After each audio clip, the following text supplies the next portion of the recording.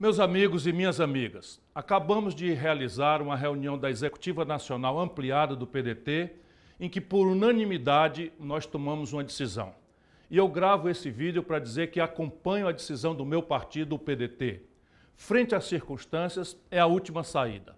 Lamento que a trilha democrática tenha se afunilado a tal ponto que reste para os brasileiros duas opções, a meu ver, insatisfatórias não acredito que a democracia esteja em risco nesse embate eleitoral, mas sim no seu absoluto fracasso da nossa democracia em construir um ambiente de oportunidades que enfrente a mais massiva crise social e econômica que humilha a esmagadora maioria do nosso povo. Ao contrário da campanha violenta da qual fui vítima, nunca me ausentei ou me ausentarei da luta pelo Brasil.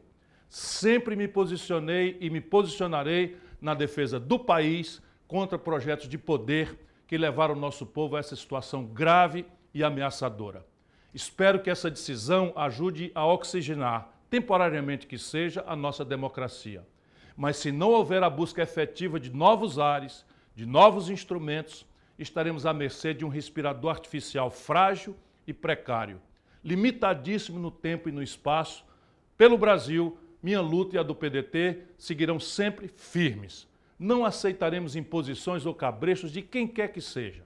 Adianto que não pleiteio e nem aceitarei qualquer cargo em eventual futuro governo. Quero estar livre ao lado da sociedade, em especial da juventude, lutando por transformações profundas, como as que propusemos durante nossa campanha. E ao povo brasileiro me dirijo. Fiquem certos de que, como sempre fiz, vou fiscalizar, acompanhar e denunciar qualquer desvio do governo que assumirá em janeiro, assim como vou seguir estudando e apresentando ideias para recuperar nosso país. Um grande, forte e agradecido abraço a todos e a todas e que Deus ilumine a nação brasileira.